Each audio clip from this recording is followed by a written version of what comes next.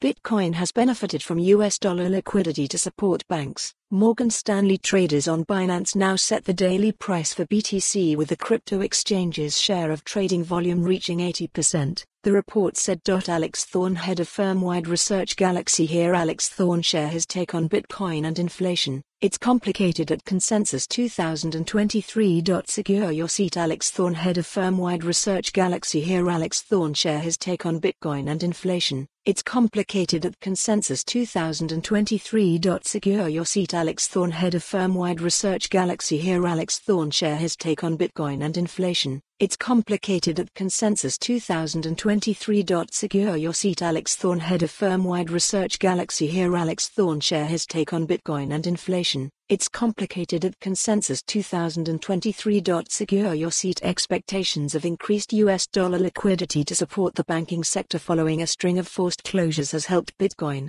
BTC, rally, but other factors are also at play. Morgan Stanley, MS, said in a research report Sunday. Bitcoin, the world's largest cryptocurrency by market cap, has gained 69% year to date.